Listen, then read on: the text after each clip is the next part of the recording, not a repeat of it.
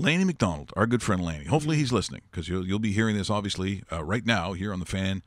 What did it say? The Sportsnet, the Fan 960. Yeah, you got That- it. Yeah, that's how you say. I it think now. you're ready to go. That's go. how you say. it. You got it. Well, you've got uh, Lanny McDonald and Brian Glennie in a famous.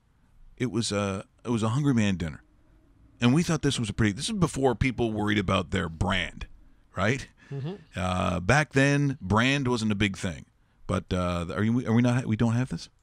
It uh, should be right there, starred, I believe. It was from uh, the 1970s, and it was a classic.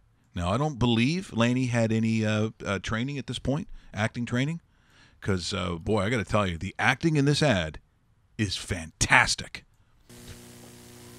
When Brian gets hungry, he goes wild. So I tame my big appetite with a Swanson Hungry Man dinner. A man-sized meal with extra meat and all the fixins. The second helping's built right in. I'm just a meat and potatoes man myself. Then dig into a Hungry Man entree. Just meat and potatoes, but big on the meat.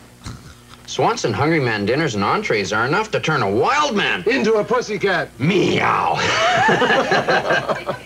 That's tremendous acting. Lanny, do you have, Lanny, do you have anything to say for yourself? Did you get a lot of money for that? But Hope you got a couple dinners out of it. how Canadian is that? Very. First of all, all the fixins.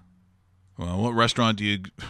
I mean, that's how I choose my where I go. By the way, if they have something comes with all the fixins and meat and potatoes, meat and potatoes.